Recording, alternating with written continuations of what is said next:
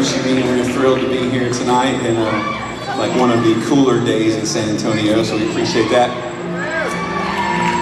This is actually kind of a second home to me. I used to live in San Antonio when I was like in fifth and sixth grade. Uh, I went to Garner Middle School. Um, lived over on Vital and Thousand Oaks.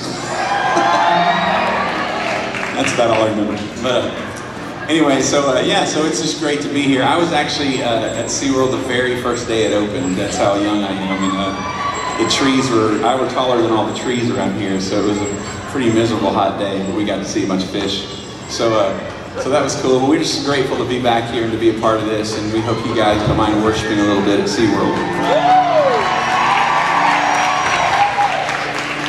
I want to see how well you folks sing. We know that everyone in Texas has a perfect singing voice, so this is a no-brainer. But, but being in a theme park like this, I just love the opportunity that we are given the opportunity to sing songs like this. So this is going to be all you, okay? Amazing.